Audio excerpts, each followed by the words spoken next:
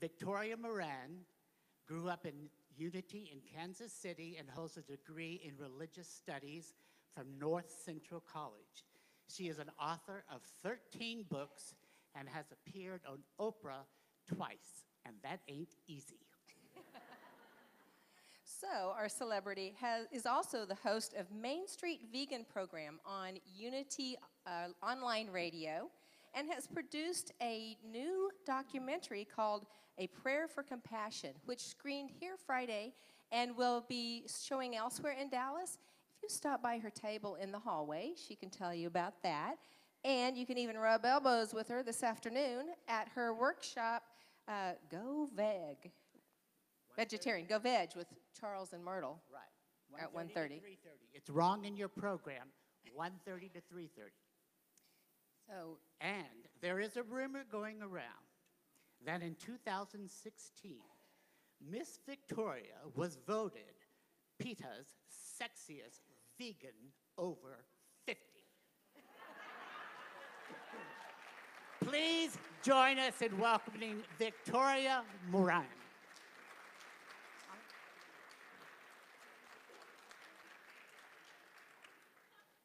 Hey, everybody. They told you that I come from Kansas City, and you know how we are in Kansas. We love our ruby slippers. But when we come to Dallas, we wear cowboy boots. So it's wonderful to be here. I was here seven years ago. I was here seven years before that. So if anybody wants to set me up for 2026, I have my calendar on my phone. It's wonderful to come to Unity because I kind of sort of grew up in Unity. You see, I was supposed to be Roman Catholic, but my parents both worked, and these were the days before daycare, so they hired a woman to live with us and take care of me, and they didn't know how radical she was. So she had been in Unity forever. She was grandmother age by the time I came along. She actually had met Myrtle Fillmore. That's how far back she went. And so we would go to Catholic Mass every Sunday, and we would stay and we would get the Sunday bulletin to prove we had indeed been there. But then we would rush out and go get the express bus over to Unity Temple on the Plaza in Kansas City. Has anybody been there? And been to Unity Village? Very nice. And we would get to hear Dr. L.E. Meyer deliver his wonderful, powerful, positive message. And so I feel really lucky as a kid that on the one hand, I got the incense and the statues and the ritual, and on the other side, I got unity. And so whenever I speak at a unity church, I always think, ooh, this is uplifting, and this is spiritual, and this is holy, and this is cool, and it's also just a little bit rebellious. So all is well. So, the reason that I wanted to call my little talk for you this morning that old time religion is kind of twofold. One is I just love old songs like that. I love hymns. I love country music. I love being able to be a contradictory person who lives in New York City and thinks that's great. And I love country music. And the other reason that I wanted to call this that old time religion is that unity has long been criticized in certain circles by not being that old time religion. So, what are our roots? What's old time unity? And since I grew up kind of middle old time unity and with a woman who had been in it from much earlier on, I feel like I got a little kind of sense of that that might be something that's edifying to you here today. I certainly hope so. So, remember back in grade school, and we learned vowels and consonants. So, the alphabet has mostly consonants, but it's the vowels that make the words. So, I have a little acronym about unity based on vowels. So, let's do a repeat. Let's get a little bit of uh, reprise from grade school. Let's recite the vowels. They are A, E, I, O, U. And sometimes Y and W, but this is church, not grammar class.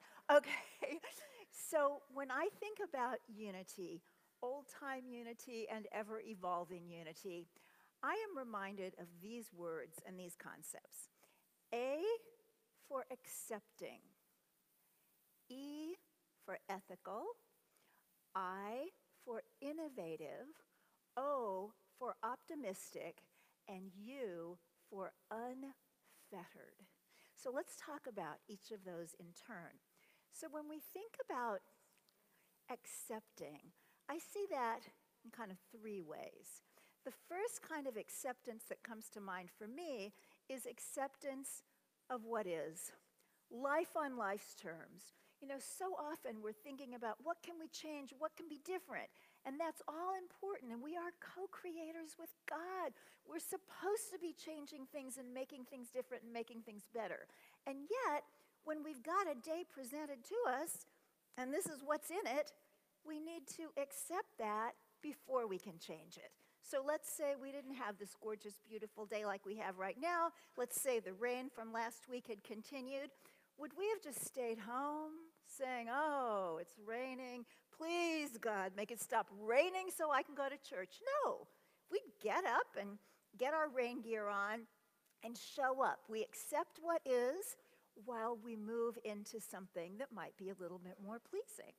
Now, another aspect of acceptance is to accept ourselves. And sometimes that's really tough.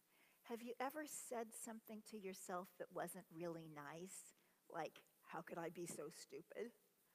We wouldn't say that to anybody else. God certainly wouldn't say that to us, and yet some of us from time to time will do that.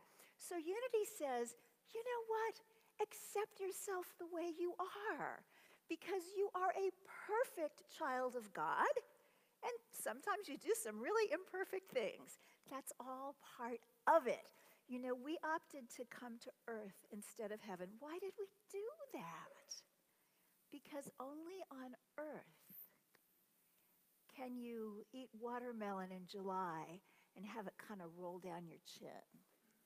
Only on earth can you hold hands with someone that you find absolutely divine and take a nice walk with them through the woods or along the beach.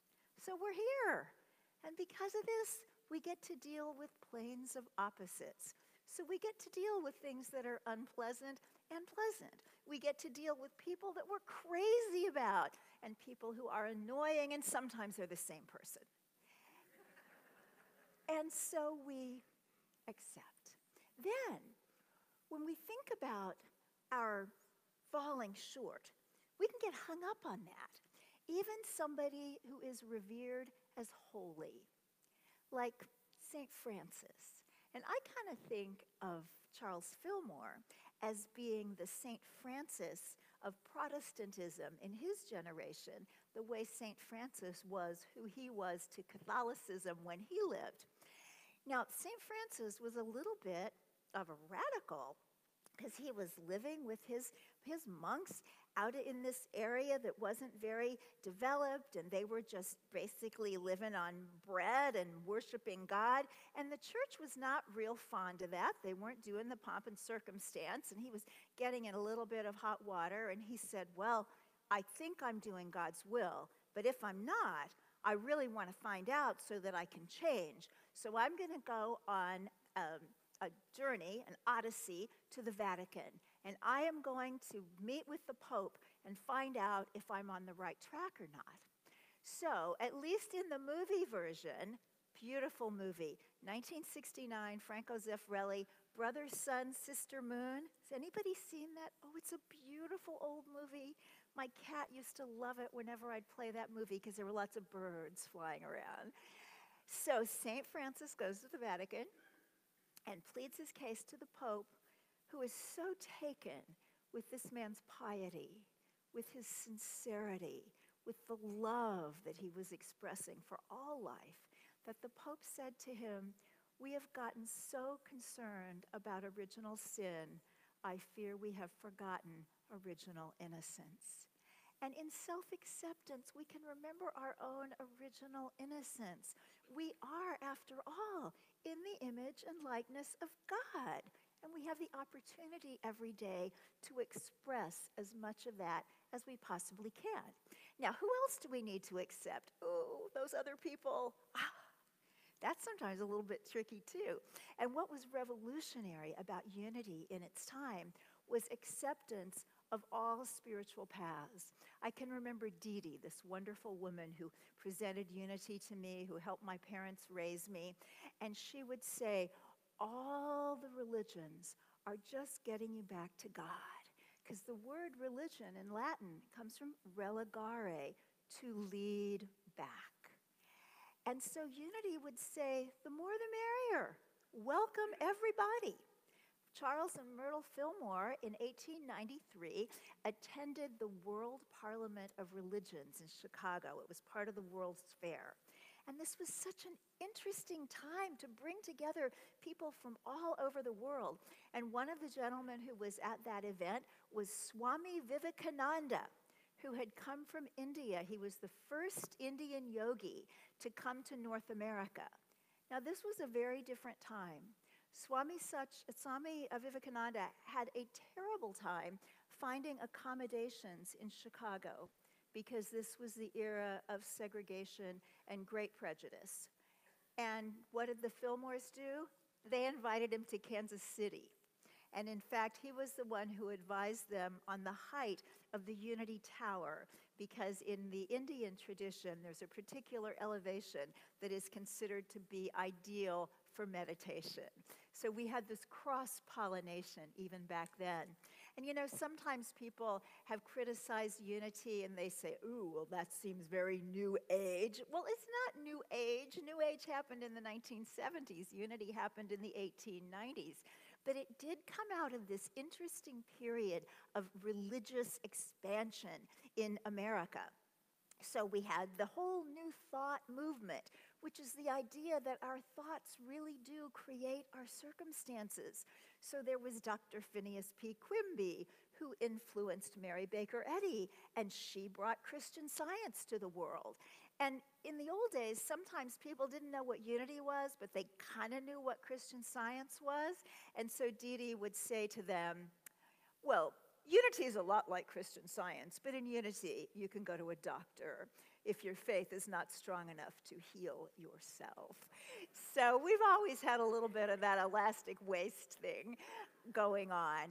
And so at that time in history, that late 1800s, early 1900s, so much was happening, so much was growing. So unity was happening in, in Kansas City on the Missouri side in 1893. And in 1901, a little further west in Topeka, Kansas, the Pentecostal movement happened. There were revivals, there was all sorts of religious growth and excitement. But also, what was happening at this time was that science was becoming a thing. And science was beginning to explain things that were not understood before. And this was very confusing to a lot of people. And a lot of people thought, well, then I've got to throw out religion. I mean, if science is suggesting that Jonah probably didn't live all that time in the body of a big fish, I just need to throw out all of it. Atheism started coming into the picture for the first time, really, in history. And yet, there were these other teachers, these other thinkers who were saying, you know what? All that we're learning from science, God created it. So, God doesn't have a problem with science. Why should we? And they figured out ways to marry science and scripture, what we know from the intelligence in this world and what we know from that deep truth of God within. So, here we are in unity A for acceptance. Now, the next vowel is E, which stands for ethical. And sometimes in unity, we don't do a lot of thinking about ethics and morality. I think we just accept, you know, we're good people, we come to church, of course we're ethical. And yet the Fillmores were deeply ethical. And they thought about their ethics, not just in terms of is this good, is this bad, does this harm somebody, does it not, but they thought about the ripple effect because they understood that our thoughts are creative, our words are creative, and our actions change the world. The beautiful mystical poem by Francis Thompson, Thou canst not disturb a flower without troubling a star. That's very much Fillmorian. And so, in the original statement of faith for unity, did you all know that we used to have 32 principles of faith? And they were laid out, and each one of them started with, We believe, the closest thing unity ever had to a creed. And so in 1939, they took two of them out because the world was becoming more sophisticated, more troubled in a lot of ways. We'd just been through World War II, going through World War II. And so they took out one principle that had to do with food. Now, the Fillmores were vegetarian. And as your former minister, Reverend Evan, El, Ellen Davenport, says in the film that I've produced, A Prayer for Compassion, she says, I knew from ministerial school that the Fillmores were vegetarian, but I didn't know until much later they were ferociously vegetarian. I'd never quite heard that term, but they were very deeply committed to this, and it was in that statement of faith. And what is very interesting to a historian of unity is the way they worded it. They said, We believe that it is wrong to kill animals for food or be a party to that. Woo! Wrong. We don't use that word a lot in unity, but Charles Fillmore used it, and he said, We believe that as long as people are killing animals for food, there's going to be cruelty and war among humans. Woo! Does that mean we're all supposed to rush out and change our diet? I don't know, but we're in unity. So it's something to look at. It's something to think about. And that, in fact, is what the workshop this afternoon is going to be about. I hope you'll all come. We're going to have some really great food, too. But the other um, precept that was taken out of that statement of faith had to do with sex. Now, it didn't say you have to be prudish. Come on, I'm PETA's sexiest vegan over 50, 2016.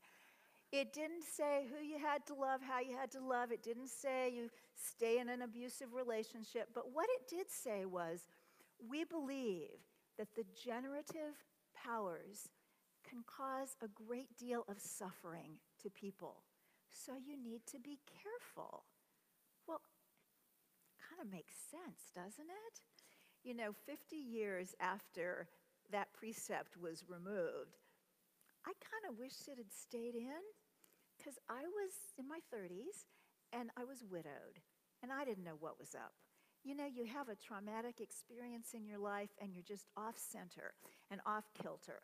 And all I knew was I used to have this life with a husband and a child and me, and it was all right. And then, tragically, one of the pieces was all of a sudden missing. And all I could think about was fill that hole fill that space.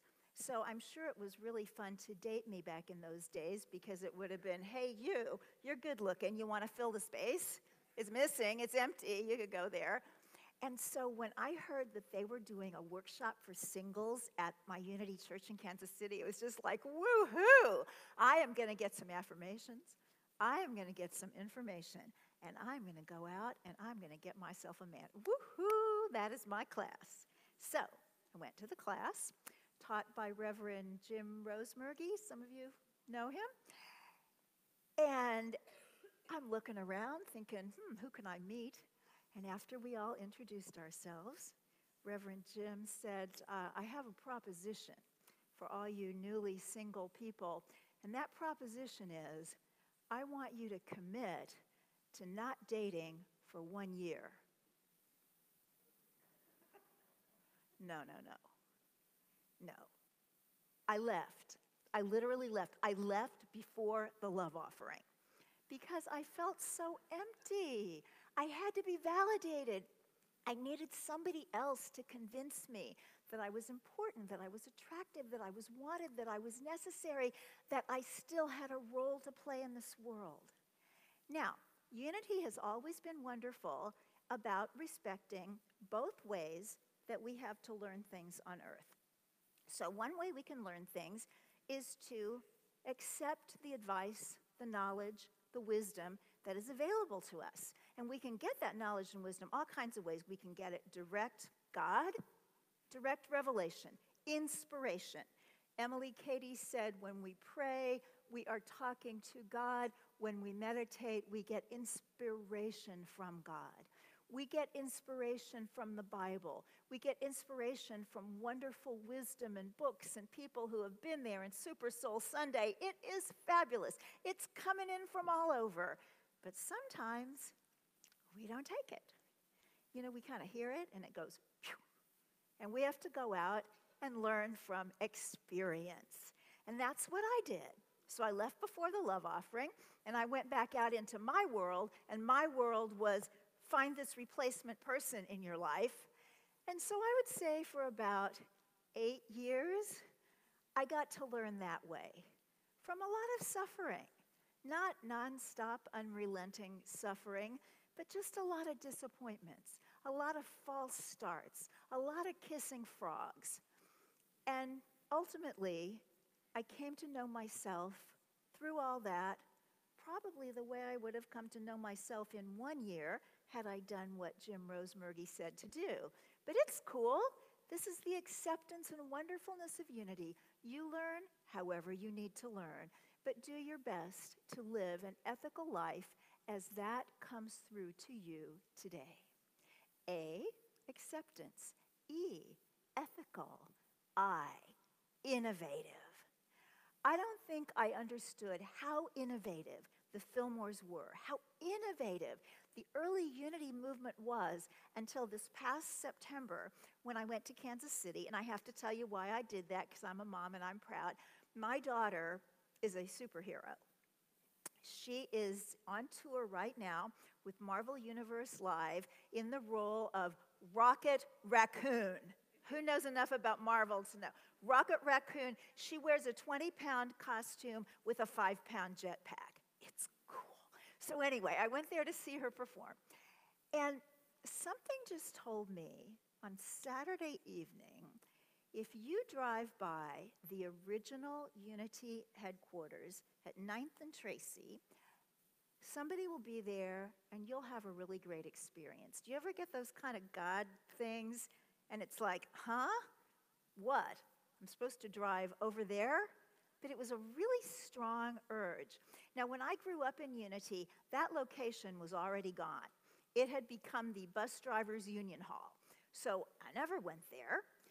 But at some point in later history, I believe it was the late 1980s, a Unity minister purchased that property, and it's once again operative in a part of town where, you know, you kind of get to urban blight and, and things are torn down, and all around it is just kind of empty fields. And here is this wonderful building that has been there since 1893, built for Unity. So I went over there, and even though it was Saturday night, and who's in a church on a Saturday night? The minister was there, the custodian was there, and they started showing me stuff. It was so cool.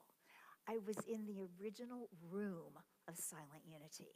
Now, those of you who are visitors and might not know, Silent Unity is this church's prayer ministry that has been going on for over 120 years, well over, and it started with one guy in one room, in one chair, with one phone. And he would pray. And the phone would ring, and he'd pray with the person. He'd hang up, and he'd pray some more. And eventually, it became so popular that it was manned all through the day, 24 hours, as it is now. And to be in that room was magnificent. But another thing that was just so cool was to get to see the 1923 silent movie that Charles Fillmore commissioned a Hollywood crew to go out to Kansas City and film about what was going on at Unity. But it wasn't about beliefs and theology and that kind of thing, it was about Unity's innovation. They were totally technically on top of what was the way of things at that time. So they were very proud to show in this film that they had an electric letter opener because they were getting so many requests for publications. Because, you know, Unity didn't start as a church, it started as a publishing house. Unity School of Christianity.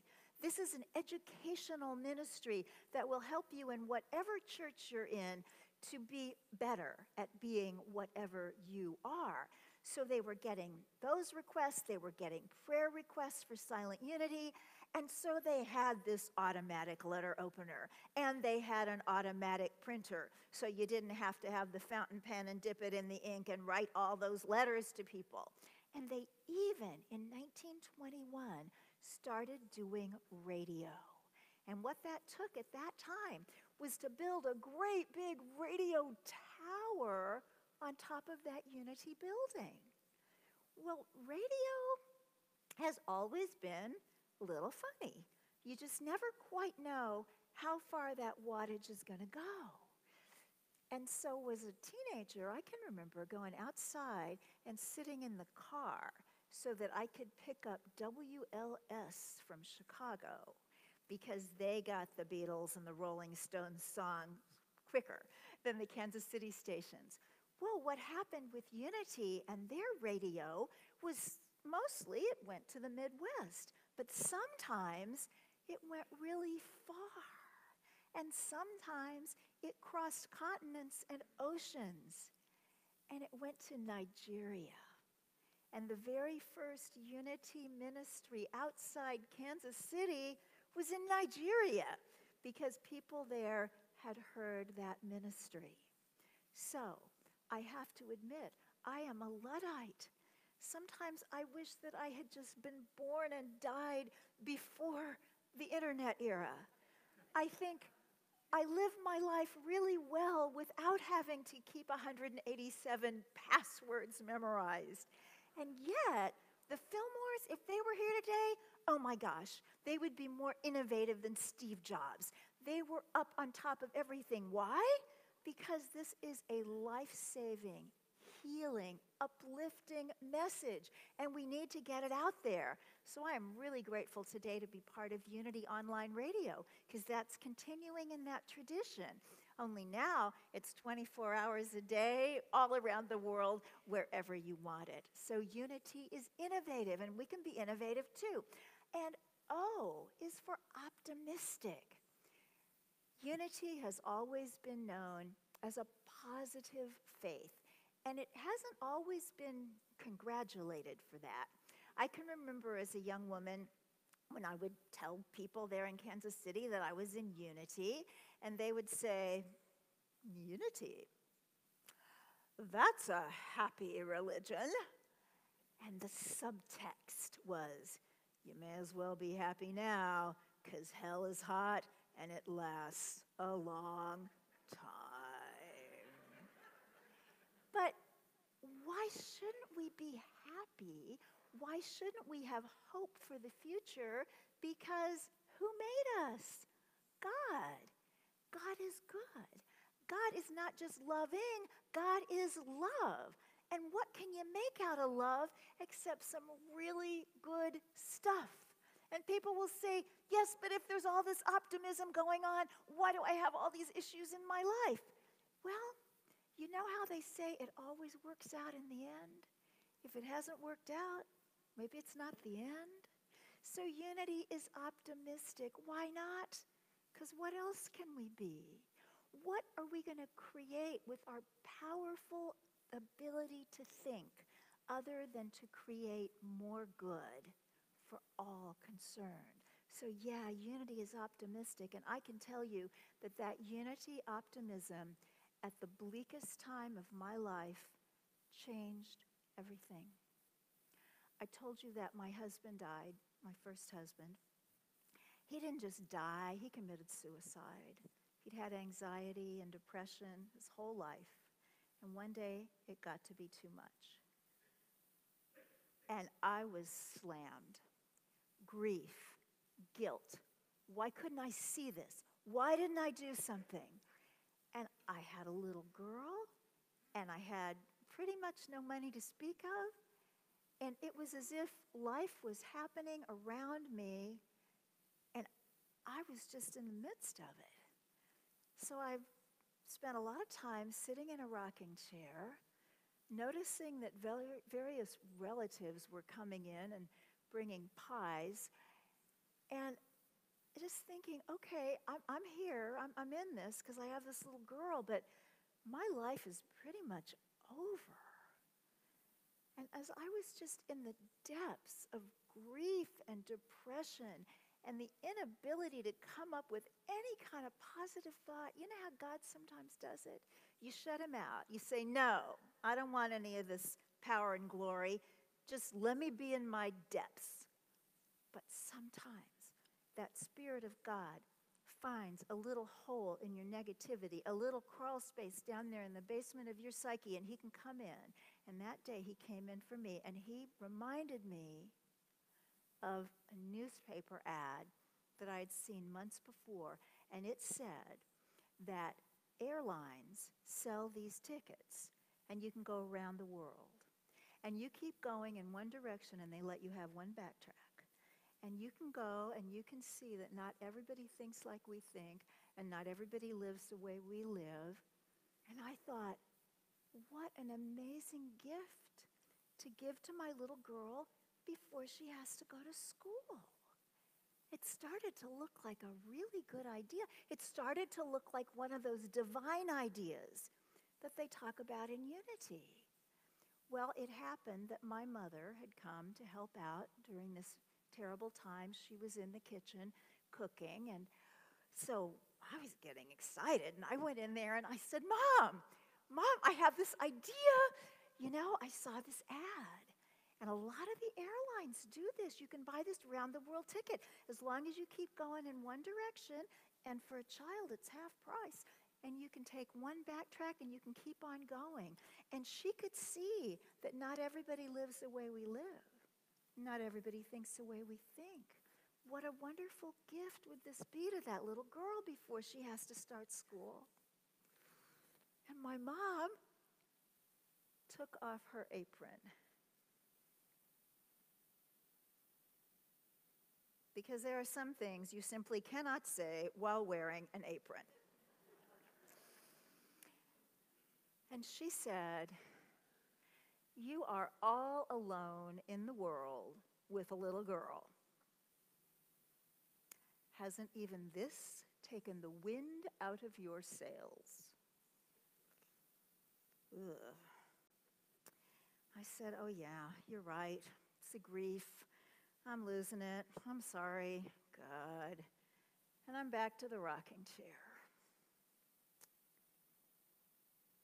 But I had a lot of unity in me by that time. And welling up in my soul was you know what? If the wind came out of your sails, that little girl over there in Unity's Montessori preschool may as well have two dead parents because the one she's got wouldn't be worth much. So, we went around the world, and two years later, we went again. And we went to remarkable places. We went to Nepal. We went to Tibet. At one point, before we left for the second trip, we were invited to St. Louis, where His Holiness the Dalai Lama was going to be speaking. I got to go to the press conference, and he met my little girl, and she is eight years old then, and he gave her a kata, which is this long satin scarf with fringes on the end.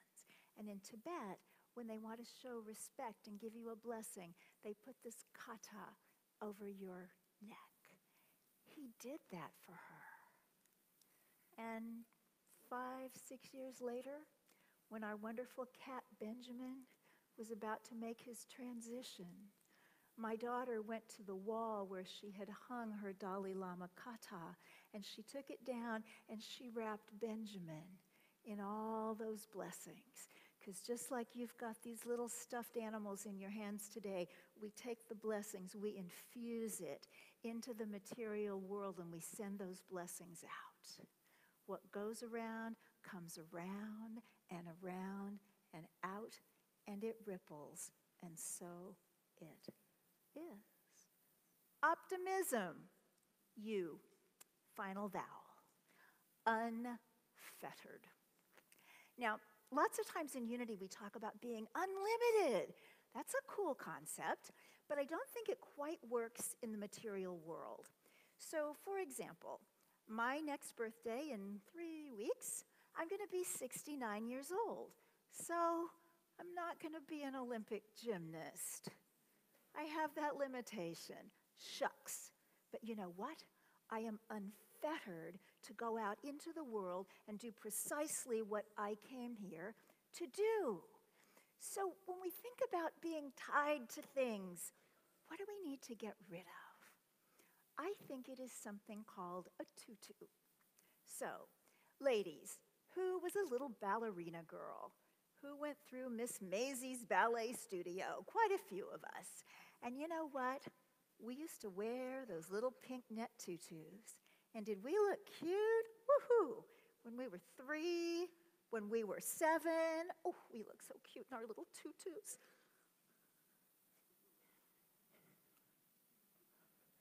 But if we came to church today wearing tutus, that would be a wardrobe malfunction of the quintessential degree.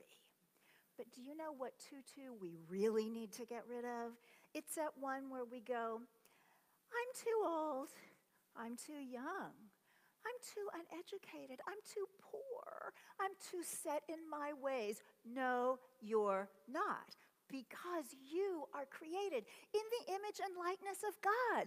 And God is not too anything except magnificent. We can do that. I am too magnificent not to step forward with great courage and great faith to do precisely what I came here to do. What did Jesus tell us?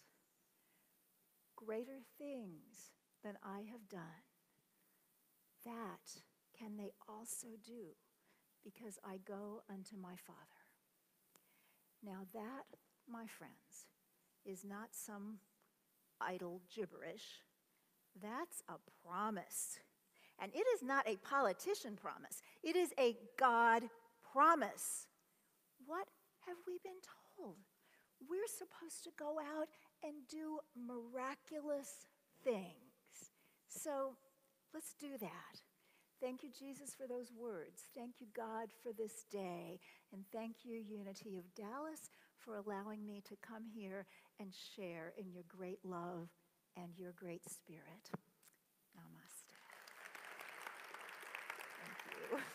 Thank you.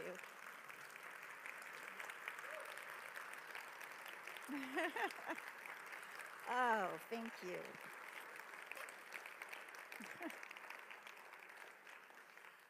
oh, God bless you. Let's go into the silence.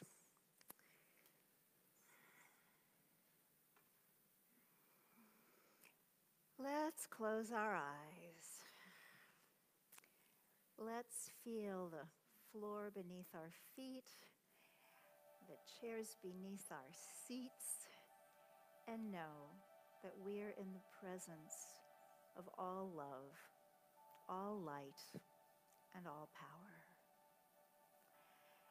Let's go into the silence with these words that I happened to pick up this morning on the table from some enlightened soul here at Unity of Dallas.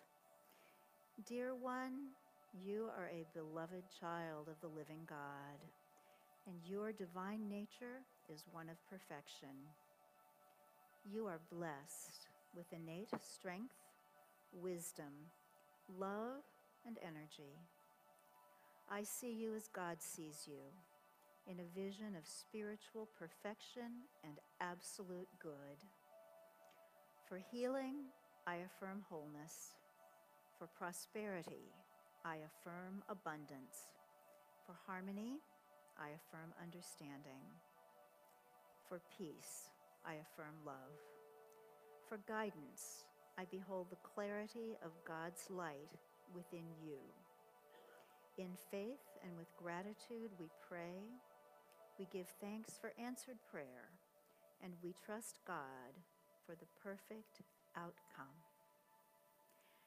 Let us take these words into the silence, into that place where God can talk to you with inspiration.